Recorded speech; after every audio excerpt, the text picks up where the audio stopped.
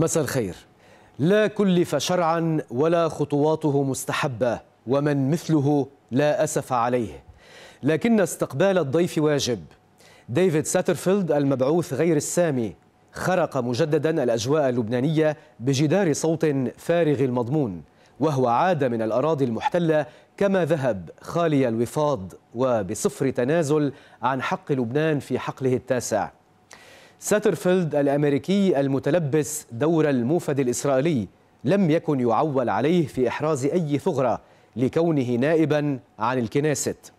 لكن الموقف الرسمي اللبناني رفع له ورقة الفيتو وأعاد على مسمع الأصيل الذي يؤدي دور الوكيل أن هذا البلد لن يتنازل ولو قيد أنملة عن حقه لا في النفط ولا في الغاز.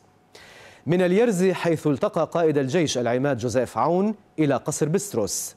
باسيل وهناك ثبت وزير الخارجية قاعدة الحفاظ على السيادة. وبحسب معلومات الجديد فإن باسيل أبلغ ساترفيلد أننا لن نتنازل لا في البر ولا في البحر وأن هذا الأمر غير قابل للنقاش. وبحسب المصادر فإن أجواء الاجتماع انتهت إلى أن إسرائيل سوف تتضرر كما يتضرر لبنان. ساترفيلد الذي يلتقي رئيس مجلس النواب نبيه بري غدا حضر طيفه في لقاء الأربعاء. ومن خارج جدول اللقاء كانت زيارة للواء عباس إبراهيم على ملف النفط. ولدى مغادرته عين التين قال اسألوا الرئيس بري لكن رئيس المجلس كان قد بعث بجواب استباقي مفاده أن المعادلة الإسرائيلية ما لنا لنا وما لكم لنا ولكم. هي معادلة مرفوضة قطعا ولن تستقيم أو تمر. وذلك بعدما علم بخيبة ساترفيلد وبأنه لم يأتي بجديد من الأراضي المحتلة بحسب مصادر متابعة.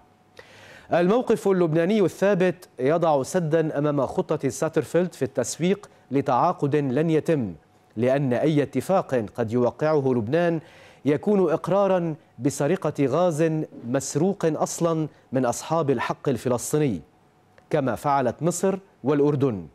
وإذا كان البلدان يتكئان على كام ديفيد ووادي عربة فأن في لبنان الوعد الصادق.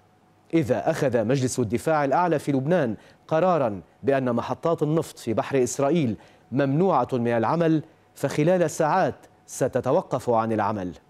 كلام الأمين العام لحزب الله السيد حسن نصر الله هذا والذي قاله في مهرجان حفظ الوصية بات كلمة سر وورقة قوة في يد لبنان لا ضير من أن يرميها بوجه إسرائيل ووكلائها.